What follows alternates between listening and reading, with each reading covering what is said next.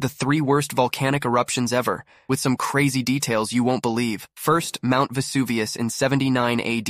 This deadly eruption buried the Roman cities of Pompeii and Herculaneum under a thick blanket of ash and pumice. Thousands of people were killed instantly, and the cities were lost for nearly 1,700 years. Imagine this. The ash preserved everything so perfectly that when they were rediscovered, even loaves of bread were still in ovens. Next, the eruption of Krakatoa in 1883. This catastrophe catastrophic event in Indonesia was one of the loudest sounds ever recorded. It was heard over 3,000 miles away. The explosion was so powerful that it created a series of massive tsunamis, killing over 36,000 people. And finally, Mount Tambora in 1815. This eruption in Indonesia was the most powerful in recorded history. It released so much ash into the atmosphere that it caused the year without a summer in 1816. The weather went crazy. Snow fell in June and lakes froze in July. Crops failed everywhere, leading to a global food crisis